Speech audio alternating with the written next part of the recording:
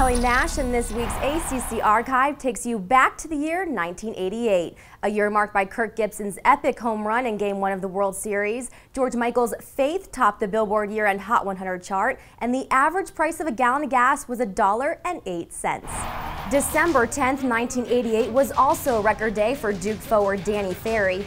Entering Duke's game versus Miami, the Duke record for most points in a game was 48, held by former Blue Devil and Major League Baseball star Dick Groat.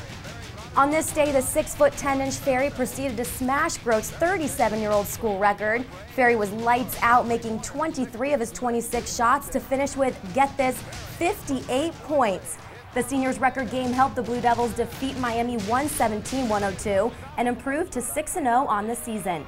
Not only did Ferry set a Duke record for most points, but his 58 point night also remains as the ACC record for most points in a game.